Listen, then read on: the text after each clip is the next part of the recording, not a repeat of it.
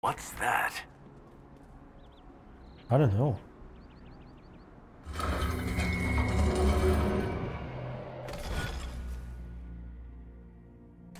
It allows me to unlock the secrets of the heavens? I need to create this image here to the right?